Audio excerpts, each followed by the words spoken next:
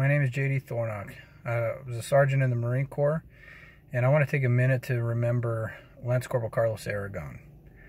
Aragon was with us brand new, right out of school. He was a light armored vehicle mechanic, and uh, that's how we got around in Afghanistan was in these light armored vehicles. And he, he was a great mechanic. He was very quiet, but uh, you listened to him when he talked for two reasons. One was he knew what he was talking about, and he would get your vehicle up and running, ready to go if you had any issues with it. So you listened to him.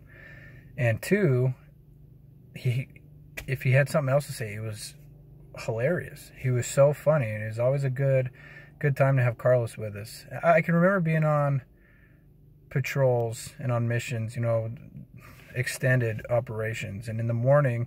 Didn't matter how cold we were, how hot we were, how hungry, thirsty, messy, dirty we were he'd always wake up, you know, and he'd kind of rub his eyes and just look out over the vast desert of Afghanistan and just say, "Hello, world."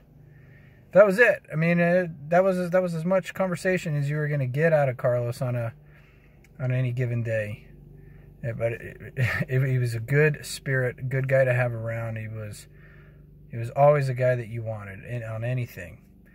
And unfortunately, on March 1st, 2010, his life was taken by uh, enemy actions in Afghanistan.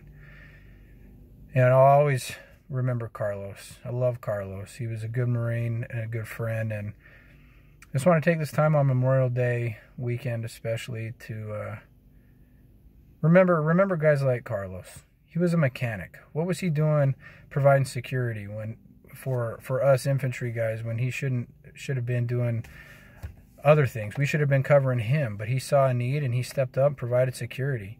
His selfless service kept us safe, and unfortunately, it took him away from us.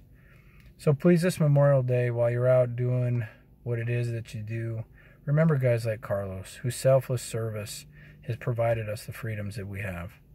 Rest in peace, Carlos, and Semper Fidelis, brother.